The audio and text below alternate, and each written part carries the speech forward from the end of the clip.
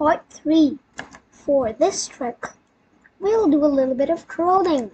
We'll need the defense hand, which is 4,500 and which you should keep in mind because you, you don't want to get the defense hand with like two slaps or something. You, you get it. And please don't buy overkill. I do not like it.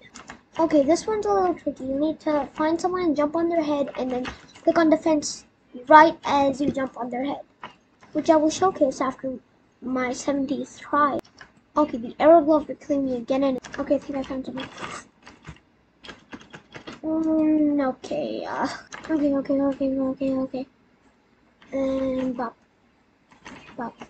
Ah! Let's see. Okay, wait. No.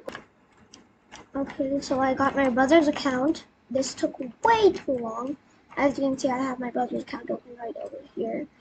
And the way you do this is you jump on the other player's head and then press shield. Press defense. Which is in purple right now. As you can see, it um it what? Yeah.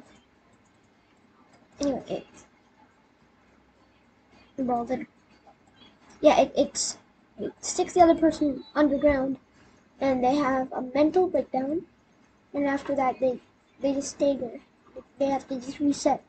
It's another way you can get another kill. Now this took way too long, so please like and subscribe. Says my brother, which is me. They, it's let me let me just close. Oh, I am at spawn. Okay me and my brother are saying goodbye, even though my brother is asleep right now. This is the middle of the night. Anyway, the, good, good, night and goodbye, uh, if it's night. Goodbye.